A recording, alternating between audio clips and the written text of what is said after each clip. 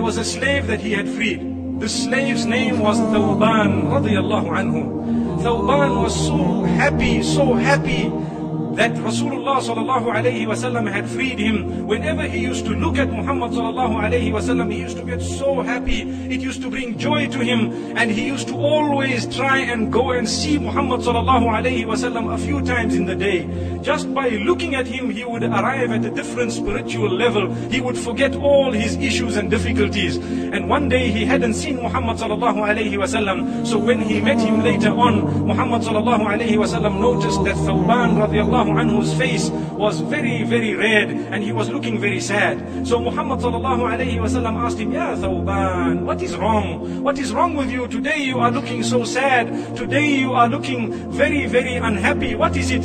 He says, Ya Rasulullah sallallahu alayhi wasallam, do you know that I love you so much? I need to look at you on a daily basis. And when I look at you, I get so much joy and happiness. I need to see you. You don't know what it does to me. Ya Rasulullah, I was so happy to have come to see you now. But what had happened is when I didn't see you, I thought of death. And I thought of the akhirah. And I thought to myself that when you will go into the akhirah, you will be taken by Allah subhanahu wa ta'ala not only into Jannah, but into the highest ranks of Jannah. You are going to join all the other Anbiya alayhim salatu wassalam, and the martyrs, and those who are pious. And with me, I will never ever see you again. I will never see you again because if I enter Jannah, I am going to be in another rank or on another stage altogether.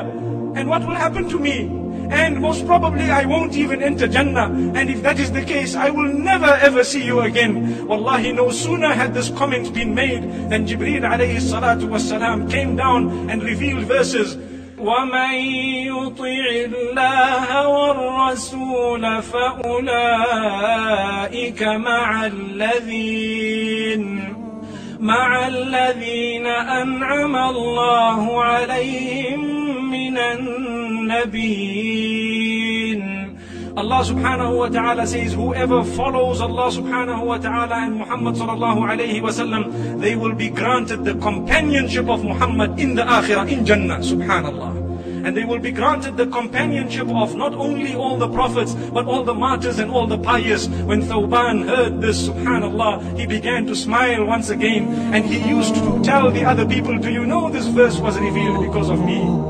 Do you know that my love of Muhammad sallallahu alayhi wasallam is so much that when I began to think that I may never see this man again, Jibreel alayhi salam came down with verses to tell me that don't worry, if you want to be with him, if you want to be his companion in the akhirah, all you have to do is just obey the instructions he has come with and stay away from the prohibitions that he has prohibited and you will achieve that rank. May Allah grant that to us. This is a lesson to show us all that if you want to be a companion of Muhammad sallallahu alayhi wasallam in the akhirah, all that is required is to become better Muslims and to obey his command and to stay away from the prohibitions of Muhammad sallallahu alayhi wasallam.